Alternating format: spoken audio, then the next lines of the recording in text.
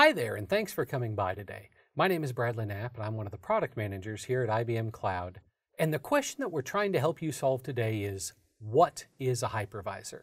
And this is a question that we actually get fairly often, and it's one that sometimes people are maybe a little embarrassed to ask. And I want to encourage you there's nothing wrong with ever asking this question.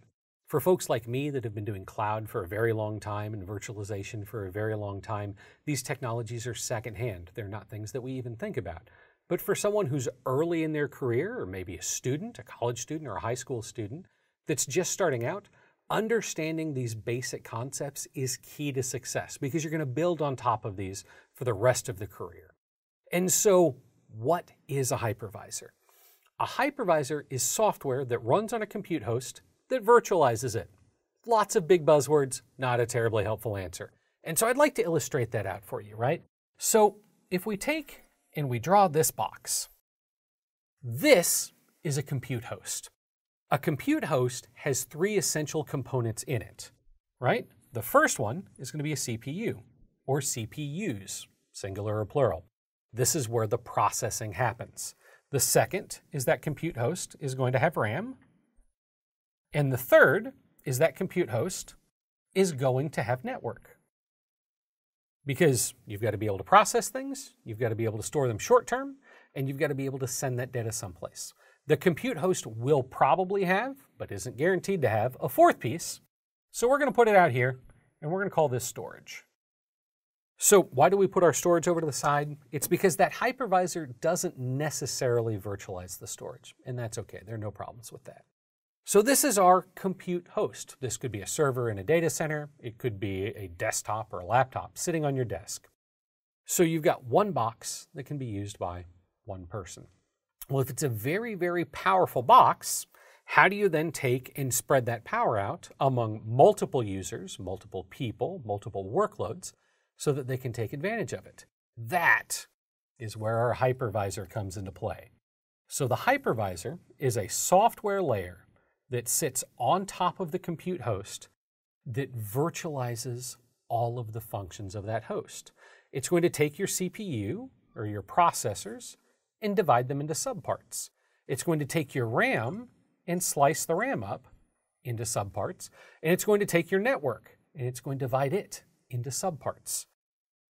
Why do you need to divvy them up? Because that hypervisor is going to allow you to schedule multiple virtual servers, right? This is a physical server. That hypervisor lets you schedule multiple virtual servers on top of it.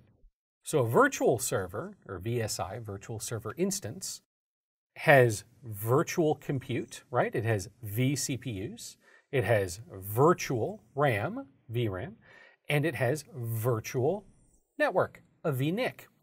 And so because you're divvying these resources up, you are then going to be able to do it many times, right? You aren't limited to just a single virtual server. You can have a second, and you can have a third, and you can have a fourth. And you can continue adding virtual servers until you saturate the performance of that underlying host. And that hypervisor, that's that software layer that runs in the middle, this is what makes the magic happen. It's what ensures that only the data that needs to be seen by that VSI is seen by that VSI. And that's maybe the most important part. So if we think about multiple virtual servers running on a physical server, how do we ensure that my data, that's in this kind of orange one here, isn't visible by data from these other guys? That's data security 101, right? My data shouldn't ever be visible by somebody else. And we're all running on the same box, so there's a risk that we might be. Well, part of what that hypervisor does is it creates a line of demarcation between every virtual server so that the virtual servers cannot crash through this line and see what other virtual servers are doing. This is the security piece that's incredibly important.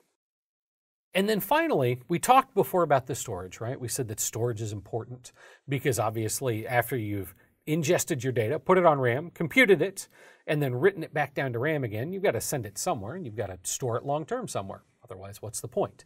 And so storage can be attached to a virtual server a couple of ways. One way is it can go through the hypervisor, right? So your storage can come in through the network and it can go into the hypervisor and then be attached to that virtual server. That's one way. A second way would be for it to be attached directly, but for it to be local, right?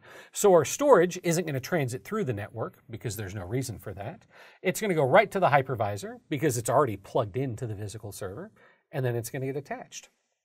And then the third way is imagine network storage like an NFS share. In this case, your storage can bypass that hypervisor entirely and connect directly into that virtual server. Now, it's still going to go through the network and it's still going to go through that VNIC, but the hypervisor isn't going to control anything other than routing that data. So that hypervisor really is the magic, right? That's the magic layer that makes virtualization possible, that makes multi-tenancy possible. And it's important because multi-tenancy is what has driven the cost of compute down. If you consider a compute host might be five or six thousand dollars a month by itself, Virtualization allows us to sell you a virtual server for $50 a month, or maybe it's free. So that's the beauty of the hypervisor. That's how it works at a very high level. And as always, if you have any questions, just let us know. If you have any questions, please drop us a line below. If you want to see more videos like this in the future, please do like and subscribe and let us know. And don't forget, you can grow your skills and earn a badge with IBM Cloud Labs, which are free browser-based interactive Kubernetes labs that you can find more information on by looking below. Thanks again.